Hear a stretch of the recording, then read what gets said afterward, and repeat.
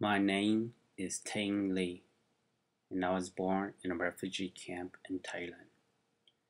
My people, Hmong, escaping to Thailand after communist takeover in Laos.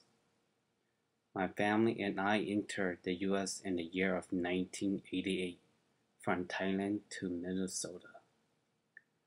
Unlike other immigrants, we did not come to the US for economic reasons and we did not have a country.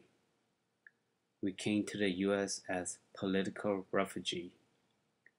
My family did not bring anything to the US except our clothes and immigration document given to us. I remembered the white bag with the world. These white bag were given to refugee and inside them are important immigration document such as I-94.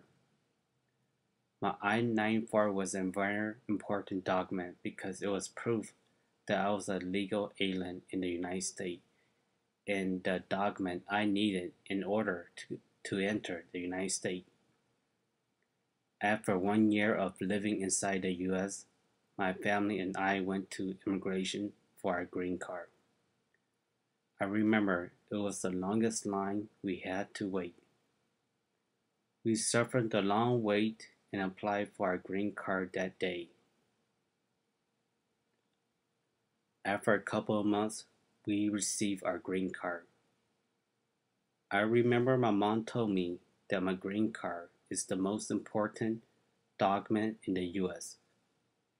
It was so important that my mom wouldn't let me take it unless I really needed it. When I was 19 years old, I applied for my U.S. citizenship. I took my interview and passed it.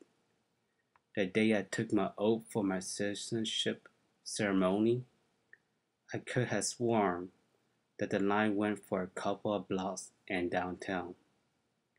The judge swore us in and told us that there were 3,000 people who became a U.S. citizen that day.